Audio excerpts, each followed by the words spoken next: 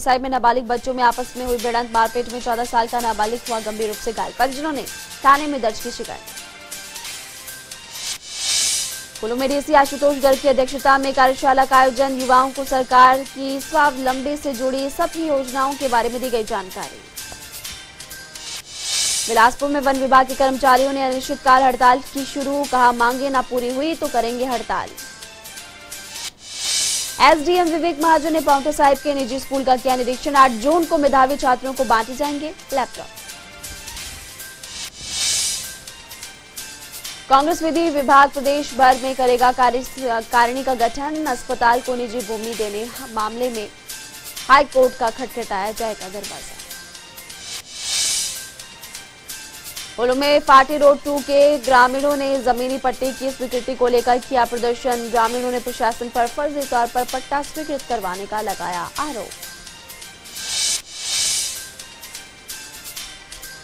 ज्वाली विधानसभा क्षेत्र के अलग अलग स्कूलों को दसवीं और बारहवीं कक्षा के दो मेधावी छात्रों को विद्यार्थियों को बांटे गए लैपटॉप। विधायक अर्जुन सिंह ने बांटे लैपटॉप। प्रदेश सरकार छात्रों को बेहतर शिक्षा देने के लिए प्रयासरत धर्मशाला में सरवीन चौधरी ने छात्रों को बांटे लैपटॉप।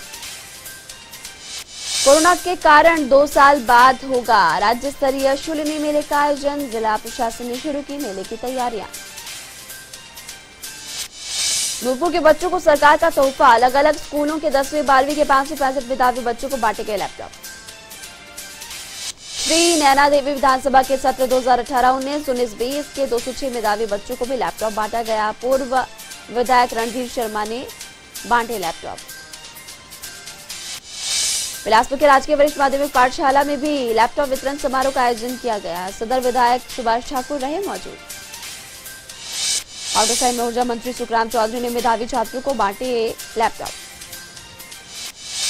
सोलन में कर्मचारियों ने अपनी मांगों को लेकर आठवें दिन भी दायर किया धरना। कर्मचारियों ने प्रशासन को मांगे न मानने को लेकर चेतावनी दी।